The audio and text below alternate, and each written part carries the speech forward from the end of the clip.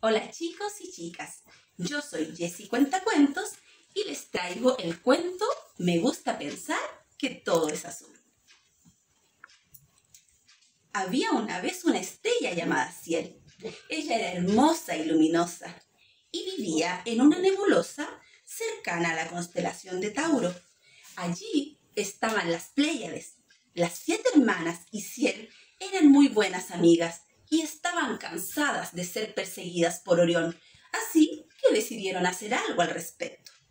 Se presentaron delante del rey Sol para explicarle su caso, pero él estaba muy ocupado, así es que les mandó a decir con un cometa mensajero del cielo que recordaran que ellas tenían prohibido salir durante el día, así es que no se le podían acercar, solo podían salir de noche. Mm, si pensó que la luna era tan importante como el sol, así es que como estaba de noche, decidió ir a hablar con ella.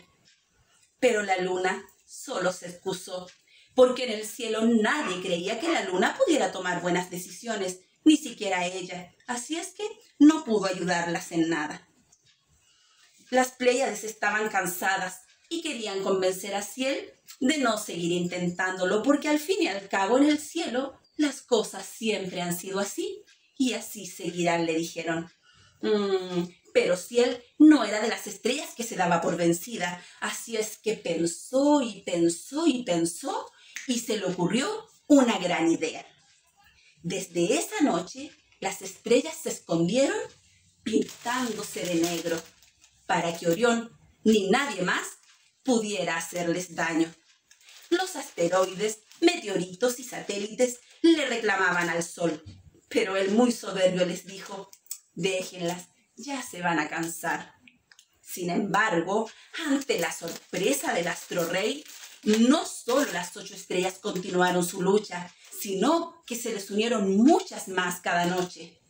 Doce, veinte, cincuenta, cien, mil y miles y miles de millones de estrellas reclamaban cada noche su derecho a no ser perseguidas y a vivir en paz. Incluso la luna muchas veces las miraba desde lejos y hubiera querido unirse a su lucha, pero sintió mucho miedo cuando el rey sol castigó duramente a las estrellas quitándoles para siempre su color azul y se quedaron para siempre de color negro. Y así él la expulsó del cielo. La pobre estrella cayó en el mar y sus pedazos se disgregaron sobre la superficie del agua. Pero cuando la tocó la luz del amanecer, Ciel se convirtió en una niña, se incorporó y comenzó a caminar por este mundo. En su tiempo en el planeta Tierra, Ciel conoció a muchos Oriones que perseguían a las mujeres y a las niñas como ellas y no las dejaban vivir en paz. Conoció muchos soles que no querían hacer justicia. Conoció muchas lunas que no se atrevían a hablar pero también conoció a muchas Pléyades que la acompañaron en su lucha. Ciel nunca más volvió a pintarse de negro. Ella recuperó su color azul y todas las noches miraba al cielo, esperando que sus amigas también hayan recuperado su color. Y decía, muy bajito, como esperando que un cometa les llevara su mensaje, me gusta pensar que ahora todo es azul.